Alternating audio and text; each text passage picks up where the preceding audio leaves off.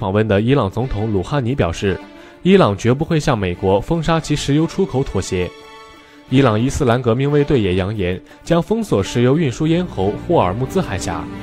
自美国总统特朗普五月宣布退出伊核协议，并表示将对伊朗进行制裁后，两国之间的对抗不断升温。对于伊朗的表态，美国回应。美国海军与其他地区盟友将保证海湾石油运输路线不会受到伊朗的攻击。美国政府正在考虑将拥有一百二十万人的伊朗伊斯兰革命卫队定性为恐怖组织，以作为尽一切可能向德黑兰施压和示强的战略手段之一。此外，美国官员将开始一系列外访，劝说世界各地的伙伴支持美国加大制裁伊朗的决定。用美国总统国家安全事务助理博尔顿此前对欧盟官员的话说。美国现在寻求的是让伊朗无条件投降。